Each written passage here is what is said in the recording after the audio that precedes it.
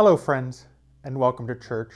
My name is Pastor Bruce Dickerson, and I'm the lead pastor at Jerome Church, and I'm so excited to welcome you this evening to our Christmas Eve celebration as we once again come together to hear the story of the birth of our Lord and Savior Jesus Christ, a story that changes everything. Later on, we will be having a candlelight portion of this service where we'd love for you to join in as we sing Silent Night. And I know you can't be here in person, but if you'd like to get a candle that you can light in the house, or later, if you don't have a candle, you just like to uh, turn off the lights in your house and just sit by the glow and sing along with Silent Night to the glow of your Christmas tree. That would be fine too. So let us now join together in worship and praise.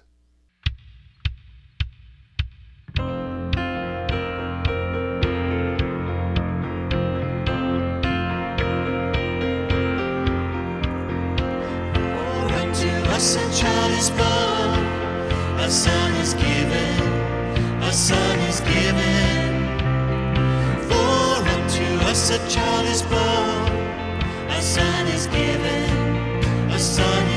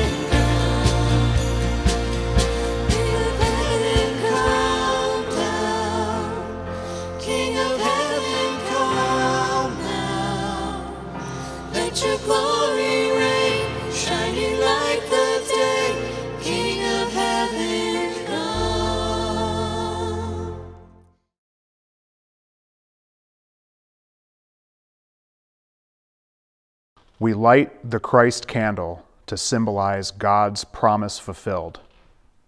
For a child has been born for us, a son given to us.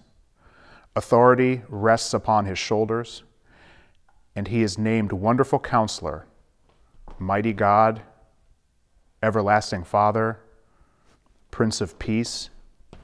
Glory to God in the highest heaven, and peace to all whom his favor rests.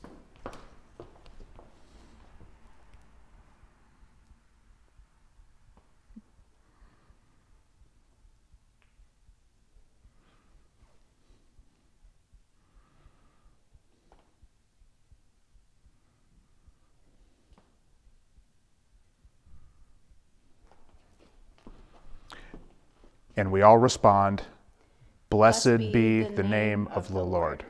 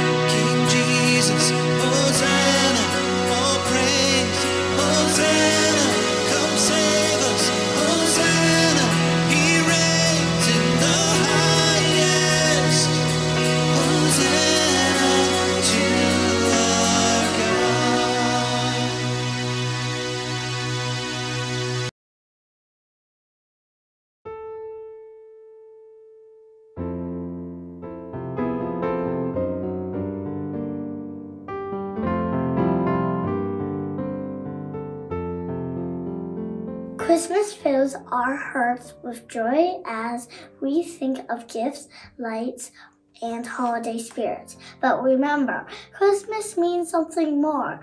It's the birth of our Savior, Jesus Christ. Let us travel back to Bethlehem and learn about the story of Jesus' birth. In those days, Caesar Augustus made a law. It required that a list be made of everyone in the whole Roman world. Everyone went to their own town to be listed. So Joseph went also. We went from the town of Nazareth to Galilee, in Judea. That is where Bethlehem, the town of David, was. He went there with Mary to be listed. Mary was engaged to him and she was expecting a baby.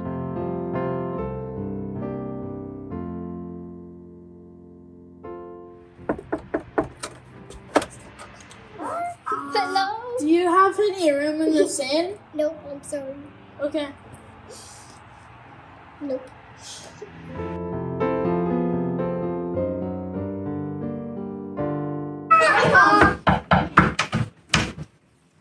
Please, do you have any room in your inn? We have too much people. We don't have any room. Okay.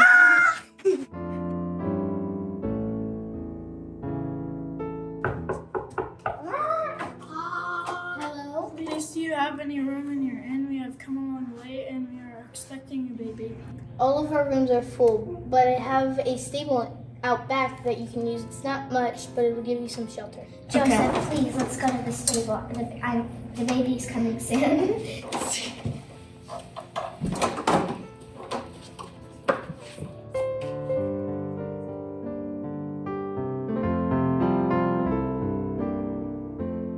Joseph and Mary were there, the time came for the child to be born. She gave birth to the, her first baby. It was a boy. She wrapped him in swaddling clothes and laid him in a manger because there was no room for them in the inn.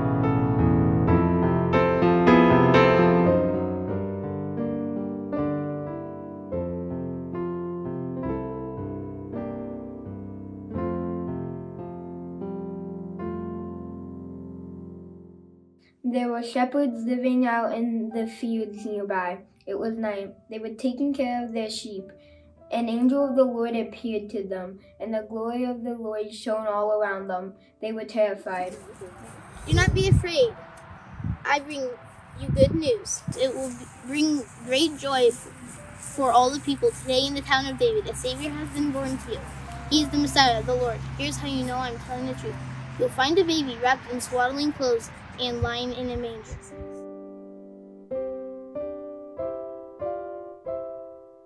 Suddenly, a large group of angels from heaven also appeared. They were praising God. They said, Glory to God in the highest and on earth, peace, goodwill toward men. Glory to God in the highest, and on earth peace, God will toward men. Let's go to Bethlehem. Let's see this thing that has happened, which the Lord has told us about. They hurried off and found Mary and Joseph, and they found the baby lying in the manger. After the shepherds saw him, they told everyone. They reported what the angel said about the child. All of them were amazed at what the shepherds said to them. But Mary kept all these things like a secret. Treasure in her heart, the baby was named Jesus, because this was the name the angel had given him before he was born.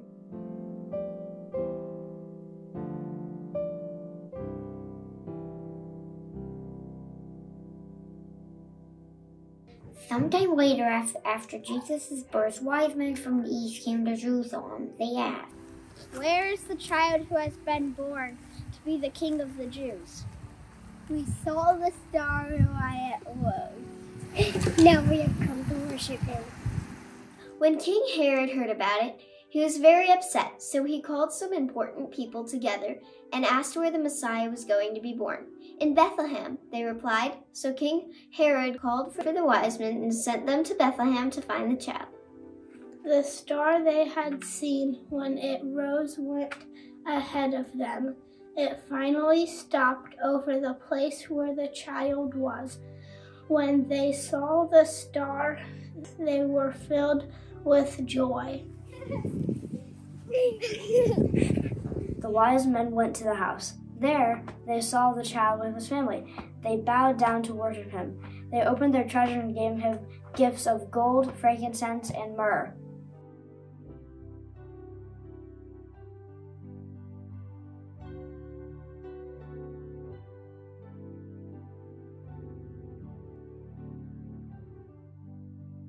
As we see the twinkling Christmas lights, let us remember the star that led the wise men to seek our Savior.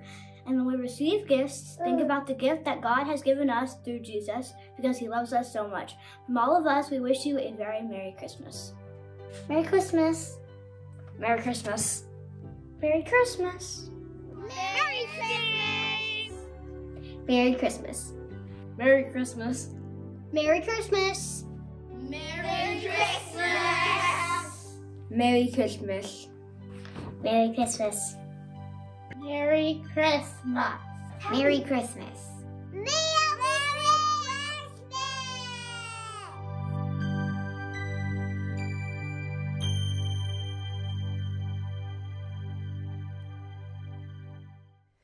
Hello, church, and Merry Christmas. It is so good to be with you in worship on this special evening. My name is Sarah Merriweather, and I'm the executive director here at Jerome. Thank you for celebrating Christmas with us and your online church family. As we prepare to hear today's Christmas Eve message, I want to invite you to connect with us during this time of our online worship together. During today's message, you can use the chat or the comment function on any platform that you're watching on to say Merry Christmas or to share your thoughts or your prayer concerns with our staff and our online worshiping congregation. I also invite you to connect to Church Center, which is our app and our online resource that virtually connects you to our Connect card, sign-ups for upcoming events, worship videos and resources, kids and family resources, and our online giving platform to support the ministries and missions of Jerome Church. You can scan the QR code on the screen to connect or visit us online at jeromechurch.org slash church dash center. Now let's hear today's Christmas Eve message from Pastor Bruce as we continue our worship celebration.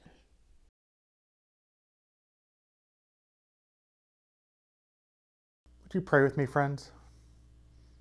May the words of my mouth and the meditations of each of our hearts be pleasing in your sight, our Savior and our Redeemer. Now, we've just heard uh, that our kids have told us the story of Jesus' birth. And I have to admit, I love our kids' video every year at Christmas. And I'm always excited, whatever church I've been in, uh, to take part as a parent or a participant in the Christmas pageants that the different churches have had that I've served, whether it's in person or over video or just sometimes sitting in the back running sound or tech. I love to watch the kids retell this story. I've served and it's just always been a special experience. Now, as a child, I remember watching a TV special uh, about a very peculiar Christmas pageant. It was called The Best Christmas Pageant Ever, and it was based off a, a play. And it's about a family of poor kids, aptly named Herdman. And they hijack a children's Christmas pageant, taking all of the choice roles by intimidation and force. As the performance degenerates into chaos, the youngest Herdman, who plays the angel announcing the Messiah's birth to the shepherds, yells out over the din, Hey! Unto you a child is born! And thankfully, the great news of Jesus' birth, the event of the incarnation of God coming in the flesh in the form of Jesus, can still cut through the noise of our distracted culture and our own restless souls and we need that message just as much today as those over 2,000 years ago needed to hear it. That is why we are here tonight to once again hear the story because Lord knows that we live in a society full of distractions and noise. We have social media messages and tweets and TikToks and reels. We uh, binge watch Netflix. We have work and a home and school and homework and sports and politics elephants, donkeys, war in Ukraine, China, Russia, family, kids, flu, COVID, dirty diapers. As the Grinch would say, Oh, the noise, oh, the noise, noise, noise, noise. There's one thing I hate. Oh, the noise, noise, noise, noise. And they'll shriek squeaks and squeals, racing around on their wheels. They'll dance with jing tinglers tied on to their heels. They'll blow their flu flubers. They'll bang their tar tinkers. They'll blow their hoo woobas and bang their gar tinkers. They'll beat their trump tukas and they'll slam their slew slunkers and then they'll make ear splitting noises deluxe on their great big electro who cardio schnooks. It's enough to make you want to talk in rhymes, to imagine all the noise, the cacophony that the Grinch is talking about, but we have just as much in today's world with everything else that I mentioned. Yet, even with all of that noise, the story we came to hear tonight is the story that changes everything. It's a story that needs to be heard over all the other noise in our lives. And the good news, it resonates so loud and clear, it is heard. Ultimately, the good news is not just about a babe born in a manger, but it's the news that Jesus is a message of love. God's unfathomable, unimaginable love for us is so deep that it took God's very presence on earth for humanity to begin to understand the perfect nature of the one who created us. A nature so deeply surrounded and engulfed in love that there are very few other meanings or stories behind this message. It's the scriptures is one long story of love of God for his creation, a creation which broke God's heart. Yet God still wanted to be in a right relationship with us and has tried to reclaim us over and over again. And ultimately, he reclaims us through a babe lying in a manger who would go on to tell us how to live life to the fullest to a fullness by God's standards, and who would sacrifice himself on a cross lay in a tomb for three days, and then rise again on the third day. The heart of God's message through Jesus is love. And so we have to ask ourselves as we hear this story, how does that make us want to respond? It makes me want to praise, it makes me want to shout, but it makes me want to share that good news with others who are caught in the noise of today's world. It makes me want to respond to this sign of God's grace by sharing God's love with others. And sharing God's love can take so many forms. Can take into service, our advocacy, or mission, or education, and there's more and more. Through sharing God's love, God invites all to share in God's mission with Jesus Christ to the world.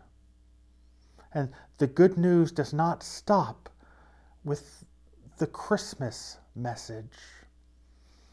It goes on beyond tonight. It goes on beyond tomorrow. It goes beyond when we take down our trees and put away our gifts and our decorations. It's a story of love that is told within our hearts each and every day, and therefore we need to share it each and every day. It's a story that resonates year round. A story of God's love for us. Friends, God loves you, and there's nothing you can do about that. That's a story worth sharing in our lives each and every day through action and word. May it be so. Thanks be to God. And friends, Merry Christmas. Tears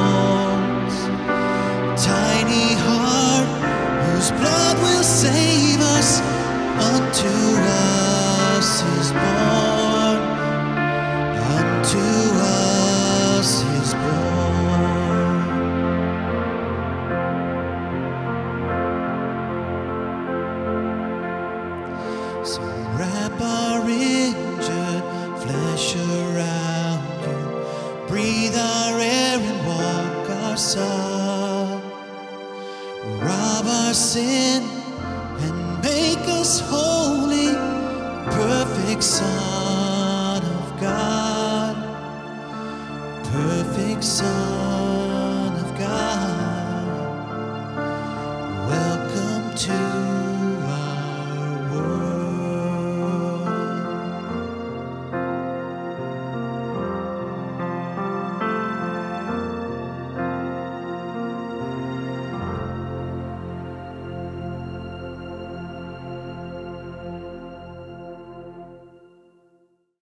It's good to be with you again in worship this evening. Over these past few weeks, we have journeyed together through the season of Advent, preparing our hearts for the coming of Jesus at Christmas. And today we gather in person and here online to celebrate the birth of our Savior together. Today we're hearing God's call to be His messengers of good news to the world.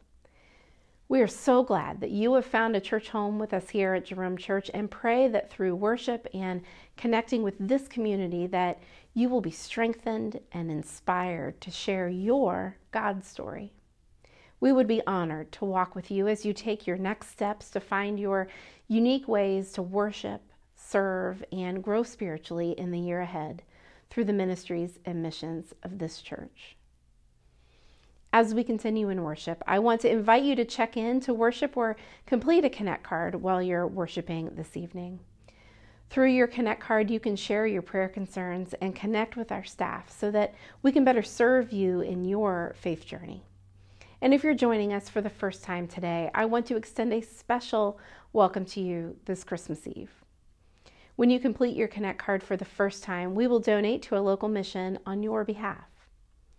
You can complete your Connect card by clicking on the links in today's video description, by scanning the QR code that's on the screen right now, or by texting CONNECT to 614 587 7871. What a blessing it is to be a part of a church that lives out the mission of loving God and loving people, not just at Christmas, but every day of the year. Now we are joined by Michelle Blackburn, who is going to tell us more about how we can support our special Christmas offering with 100% of our giving directly supporting the missions of Jerome Church. Hello, Jerome Church family and friends. My name is Michelle Blackburn, and I am the Missions and Guest Relations Coordinator here at Jerome Church. This Christmas, 100% of our special Christmas offering will go to support the missions of Jerome Church. Every dollar that you generously give will support the mission of loving God and loving people through the work of our local, national, and international missions in the year ahead. Jerome Church serves our neighbors locally, nationally, and internationally through missions including the Church for All People, the Diaper Angels, Habitat for Humanity, the United Methodist Committee on Relief, Appalachia Service Project, and Boxes of Hope, just to name a few. This Christmas, you can be a difference maker in the lives of others in our community and around the world by giving to this special offering. Our missions are fully funded through only our annual special offerings and donations, and your giving will fuel the life changing missions of Jerome Church in the year to come. You can give by scanning the QR code on the screen, texting GIVE to 614 587 7871, or by visiting jeromechurch.org forward slash give. Now let's take a look and celebrate what God has done through the people of Jerome Church this year.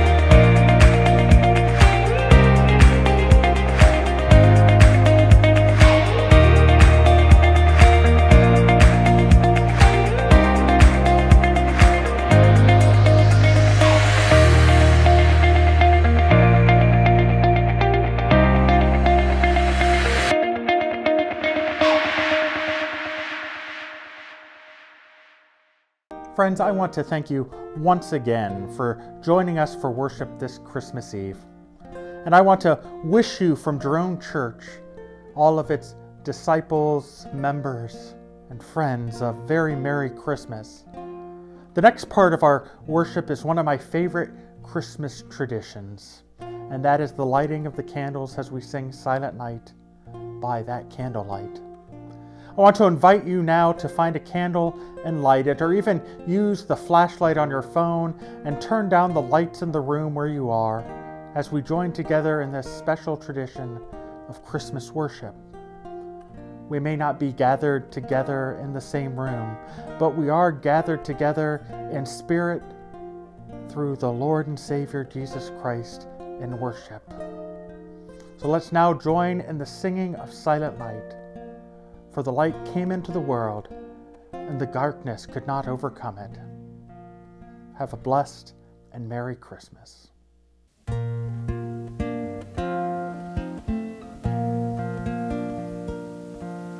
Silent